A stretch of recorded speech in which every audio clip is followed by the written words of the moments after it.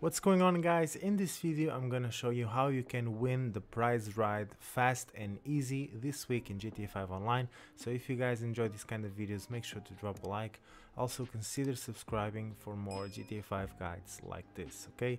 So for this week the car meet vehicle is the Dominator GTT, okay?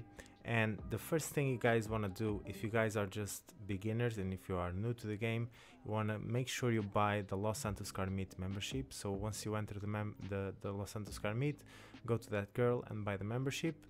Once you have the membership all you guys will need to do is complete 10 races in top 5 okay? So that's basically you can complete any of the Los Santos Car Meet races.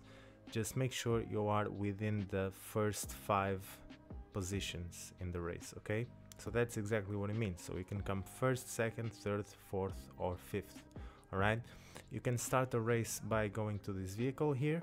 This blue vehicle you can start up the street race or the pursuit race. Um, other way you can do it is by opening up your phone and doing the quick job option.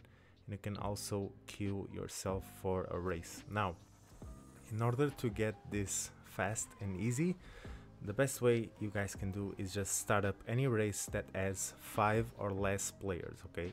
So in this case I'm doing a, a race and there's only three players.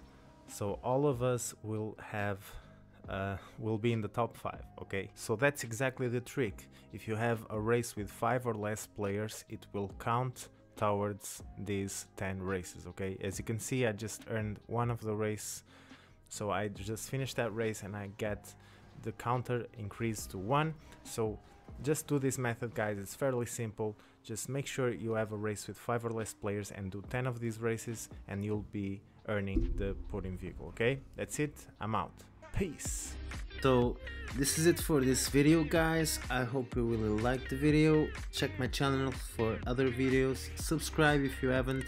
Click the ring bell notification and see you in the next video